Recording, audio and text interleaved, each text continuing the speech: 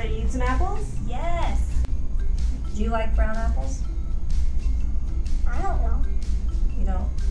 You don't. Like you don't like brown apples.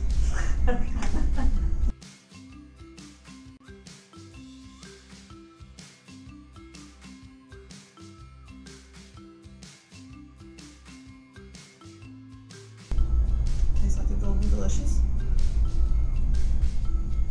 That one's good. Good flavor. Crisp. This one isn't bad. They look like the same apple to me. I could eat them both with this. Okay. I mean, they both taste exactly the same. Yeah, this one darker, this one lighter. Which one do you like better? I like light.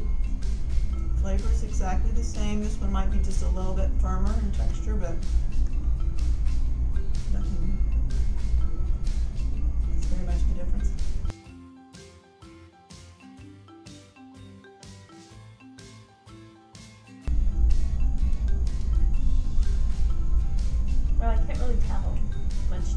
Maybe this one because it's a little crispier. Gosh, that's hard. Um, this one? Is that your final answer? Yes. It's actually the one on the right. Your left. Oh. Huh. Well, Yeah. they taste the same. Not a clue. They look exactly the same to me. Could be any apple on the shelf. If I had to guess, I would say this is the uh, Traditional. the traditional organically produced, and this is the Arctic. That's a tough question. I have no idea. This one's shinier, so I'm gonna go with this one.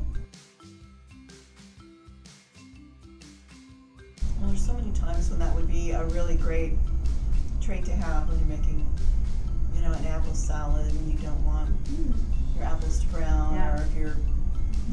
apples to garnish a dish or something like that. You don't have to mess with getting out fruit fresh or lemon juice or That's a good anything like that. Yeah. So that would be really handy. Um, I do. This one would keep for browning. So, because I bring apples in my lunch a lot. Okay. And so that would be good. Cool. Um, I think it decreased food waste actually because if anybody has been around a child, they know that they're very picky. So he loves apples. He loves fruit in general. But if it starts to turn brown, that's the end of it. Will not eat it. So if this gives me an extra five minutes for, for his mealtime, then absolutely.